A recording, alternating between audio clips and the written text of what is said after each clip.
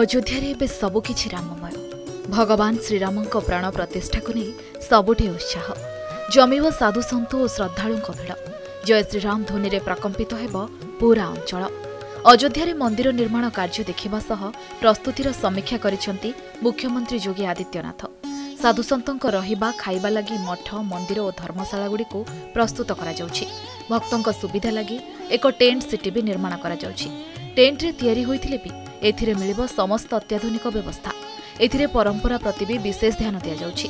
ପୁରାଣ ବର୍ଣ୍ଣିତ କଥାବସ୍ତୁ ଅନୁଯାୟୀ ସହରକୁ ପାରମ୍ପରିକ ରୀତିରେ ସଜ୍ଜିତ କରାଯାଉଛି।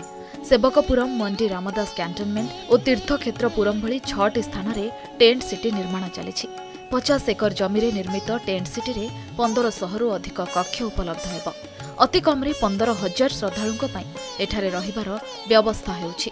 ଏହାର ପ୍ରବେଶ ଦ୍ୱାରରେ ସ୍ଥାନିତ ଭଗବାନ ରାମଚନ୍ଦ୍ରଙ୍କ ଚରଣ ପାଦୁକାର ପ୍ରତିକୃତିକୁ ରଖାଯାଇଛି। ଆରାମଦାୟକ ବେଡ୍ ଚକାଚକ ବାଥରୁମ୍ ବସିବା ଲାଗି ଟେରେସ୍ ଓ ଆମୋଦ ପ୍ରମୋଦର ଅନ୍ୟାନ୍ୟ ବ୍ୟବସ୍ଥା ବି କରାଯାଇଛି। ଦେଶର ବିଭିନ୍ନ ପ୍ରାନ୍ତରୁ ଆସିଥିବା ଡାକ୍ତର ସ୍ୱାସ୍ଥ୍ୟସେବା ଯୋଗାଇ ଦେବେ ଟେଣ୍ଟ ସିଟି ମଧ୍ୟରେ ବିଭିନ୍ନ ଟେଲିକମ୍ କମ୍ପାନୀଙ୍କ ମୋବାଇଲ ନେଟୱାର୍କ ଟାୱାର ବି ରହିବ।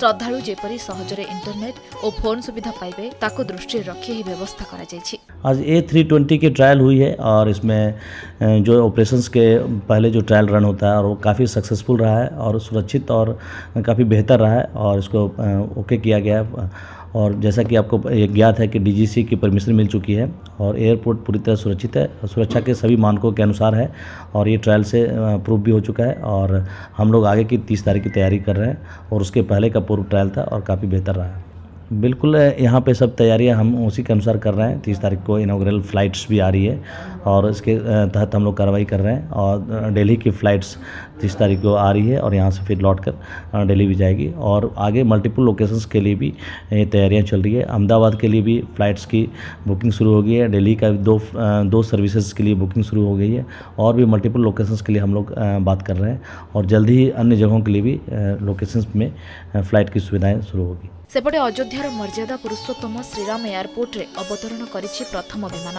ଅପରାହ୍ନ ବାରଟାରେ ଭାରତୀୟ ବାୟୁସେନାର ବିମାନ ଏଠାରେ ଅବତରଣ କରିଥିଲା। ଏହି ବିମାନରେ ପ୍ରଧାନମନ୍ତ୍ରୀ ନରେନ୍ଦ୍ର ମୋଦି ଆଗାମୀ ତିରିଶ ତାରିଖରେ ଅଯୋଧ୍ୟା ଗସ୍ତ କରିବେ। ପ୍ରଧାନମନ୍ତ୍ରୀଙ୍କ ଗସ୍ତକୁ ଦୃଷ୍ଟିରେ ରଖି ବିମାନର ପରୀକ୍ଷାମୂଳକ ଅବତରଣ କରାଯାଇଥିଲା ପ୍ରଧାନମନ୍ତ୍ରୀ ଏହି ଏୟାରପୋର୍ଟ ସମେତ ଅଯୋଧ୍ୟା ରେଳ ଷ୍ଟେସନର ଲୋକାର୍ପଣ କରିବେ ସେପଟେ ଅଯୋଧ୍ୟାର ସରୟୁ ନଦୀ କୂଳରେ ହୋଇଥିଲା ଲେଜର ଲାଇଟ୍ ଶୋ ଯେଉଁଥିରେ ଭଗବାନ ଶ୍ରୀରାମଙ୍କ ବିଭିନ୍ନ ଗାଥା ପ୍ରଦର୍ଶିତ ହୋଇଥିଲା राम मंदिर तो बनता ही रहेगा और इससे बड़ी खुशी हम जानते ही नहीं और देखिए जो अयोध्या की भव्यता है वो पूछने लायक नहीं है जो 500 साल में नहीं हुआ है वो दस साल में हो गया है ଜାନୁଆରୀ ବାଇଶରେ ପ୍ରତିଷ୍ଠା ହେବ ରାମଲାଲା ଏନେଇ ଅଯୋଧ୍ୟାରେ ଭବ୍ୟ ଆୟୋଜନ ପାଇଁ ପ୍ରସ୍ତୁତି ପ୍ରାୟ ଶେଷ ପର୍ଯ୍ୟାୟରେ ପହଞ୍ଚିଲାଣି ବ୍ୟୁରୋ ରିପୋର୍ଟ ଓଡ଼ିଶା ରିପୋର୍ଟର